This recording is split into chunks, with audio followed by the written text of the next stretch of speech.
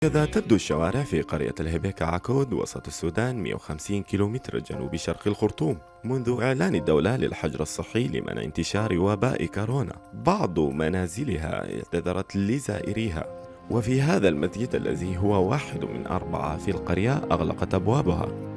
فضل عدد قليل من المصلين أداء صلواتهم رغم تنامي التحذيرات لكن المصلين ذاتهم من الداعمين لواحدة من أنجح الحملات الطوعية لمحاربة الجائحة. فالمسجد يخضع للتعقيم قبل وبعد الصلوات الخمس. شبابنا ما شاء الله يعني ما قصروا.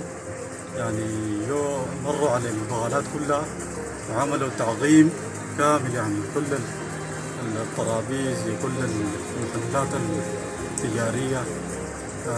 وزعوا الكمامات والحمد لله عقموا المداخل والمخارج والمستوى كان ممتاز في حسب يعني توقعاتنا من الناس الشباب ما قصروا الحمد لله وقاموا بالواجب. وإن شاء الله ربنا سبحانه وتعالى يحفظ جميع أهل القرية الشباب والأطفال والنساء. نتمنى من جميع المواطنين الاحتراس والمواظبة ومساعدة هؤلاء الشباب الطامعين الشباب الذين يعني ما شاء الله يعني قدموا كل اللي عندهم. رغم رغم أن الإمكانيات كانت عندهم ضعيفة لكن الحمد لله يعني قاموا بالواجب واشتغلوا شغل كويس وممتاز.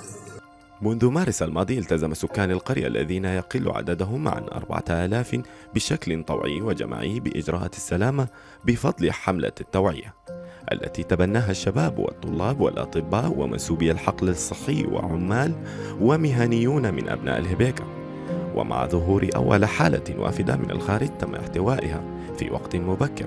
تم التجديد من الإجراءات ووصلت إلى فرض حظر التجوال الكامل نفذه أهل القرية وقدموا نموذجا في كيفية محاربة الوباء وتنفيذ كل الإجراءات المطلوبة من حجر صحي وتعقيم.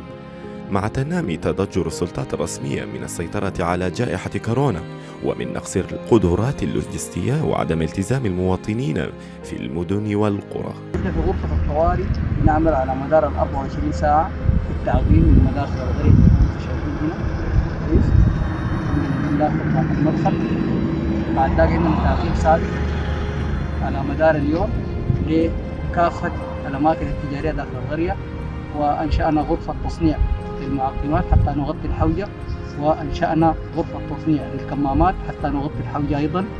كويس. وبرغم يعني محدودية الحركة نسبة لظروف الحظر اللي تعوم كل البلاد نحن قدرنا آه، نحتوي الموقف والحمد لله لم تظهر أي حالة جديدة وكل الأمور طيبة والحمد لله رب العالمين.